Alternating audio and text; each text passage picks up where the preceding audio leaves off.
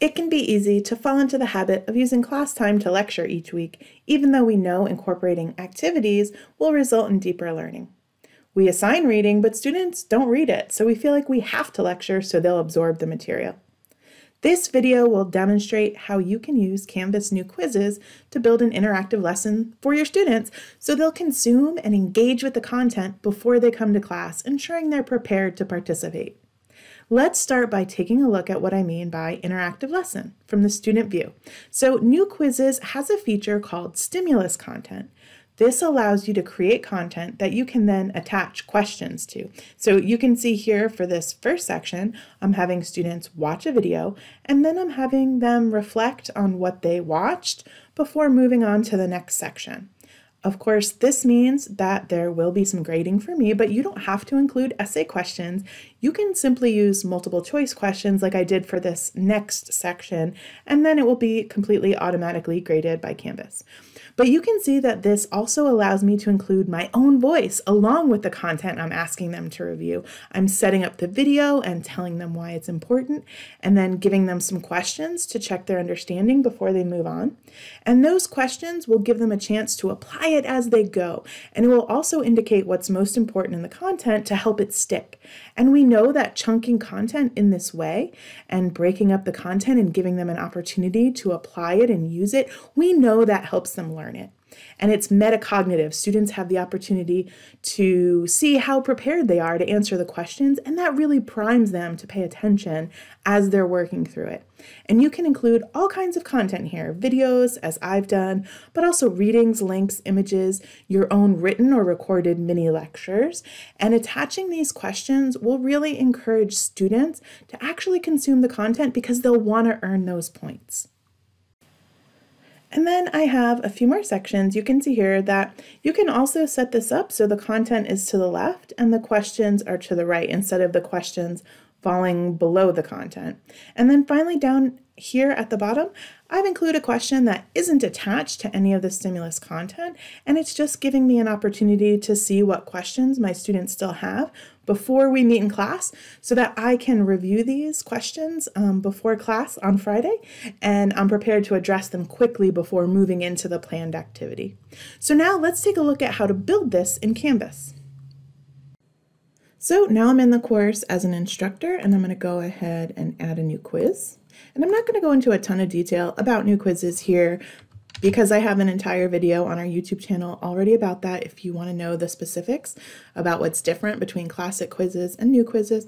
But I will point out that we do set the number of points on the settings page for new quizzes rather than question by question. You can still add point values to each question so that you can weight your questions within the quiz, but they don't have to add up to this point value. Um, and again, I go into more detail about that in the other video, but I'm just going to give this maybe a little bit of a lower point value. It's a formative assessment, lower stakes, giving me a chance to see how my students are doing with the content before they move on to the summative assessment. So I'm going to scroll down. I can add my um, due dates and all that if I want to, but we're going to build the interactive lesson with this build button. And it's going to bring us kind of into a, a new area in Canvas. It looks a little bit different from what we're used to. Um, I can add instructions if I want to, but let's say I'm ready to add that first bit of stimulus content. I'm going to click this plus button, add content, and this is where I can add questions if I want to, or I can click this um, stimulus button to add some stimulus content. And I'll just call this part one. I can add some optional instructions here like and then here's where I build my content. And like I said, you can kind of configure this how you want to. If I leave it like this, um, my content's going to be here on the left and my questions will show up on the right. I'm going to go ahead and change that to show you what it looks like. And this kind of gives you a wider um, area to work with. And I would definitely recommend doing this one if you're going to add videos. Now, the first thing you'll notice is that this is not the rich content editor. And just to be clear, this is what I mean by the rich content editor. So this is the content editor we're used to seeing throughout Canvas, whether we're creating an announcement or assignment or a discussion post. We're used to having all of these features to edit our content um, in Canvas, but it's not there yet in new quizzes. So they have kind of this pared down version of a content editor. It's a little bit different from what we're used to. You'll see we don't have the buttons to add our studio videos, but it does have this option here to insert um, media, and we can grab our embed code from our studio videos and paste it here um, if you want to include those. And I'll just show you real quick where you can find that. If you click this three dot menu from your studio video and then share, you'll go to links and create a link um, and it'll provide this embed code here. So I'm just gonna go ahead and copy this. And then I'm just going to paste it here and you'll see that when I add the embed code here, it does add my studio video and I can use this handlebar um, to expand that so I have more room to work here. However, I just want to point out it is a little bit cumbersome to use this pared down editor and it's not necessarily going to look how you expect it to when you're done. So you definitely want to um, just check and play with a little until you get it to look exactly how you want it. They are saying that they're adding the rich content editor to new quizzes, so hopefully this will be less cumbersome in the near future. But for now, we do have this, you know, kind of basic version to work with. And like I said, you can add some context for your students, add your own voice, set up this video, why they'd want to watch it, um, all of that. And then when you're done, you're just going to go ahead and click add stimulus. Now my content is here and I can start uh, attaching questions.